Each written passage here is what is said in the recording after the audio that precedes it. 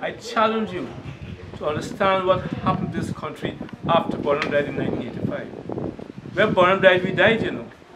Green made those remarks and issued that challenge to the journalists gathered at his home last week for a meeting with the Market Vendors Union.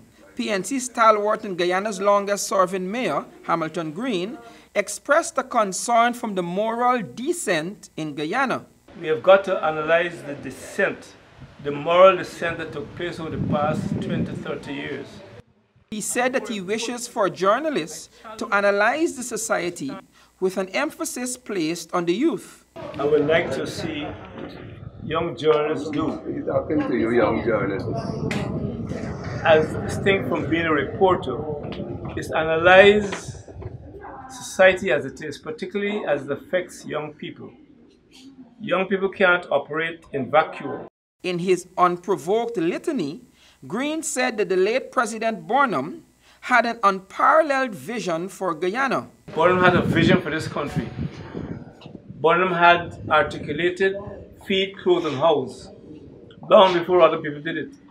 Green, who was also a former prime minister, said that Burnham was unable to fully implement his vision because of the formidable resistance he faced at the time. He had to deal with the local bureaucracy, he had to deal with international bureaucracy, because he did not want to see a country with people who look like you and I progress and make use for their benefit the natural resources of this country.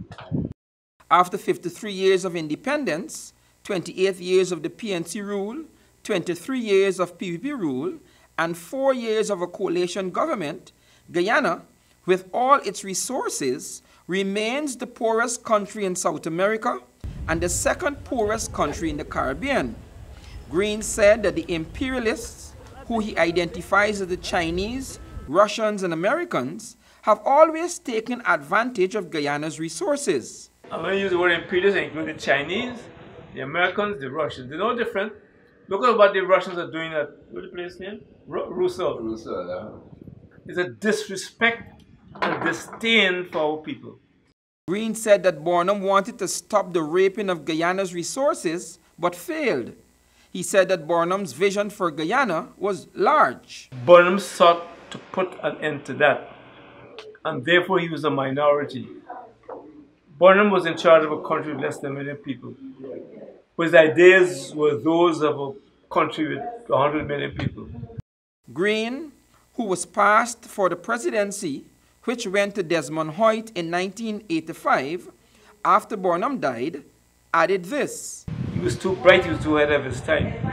For Channel 2 Headline News, Wendell Jeffrey.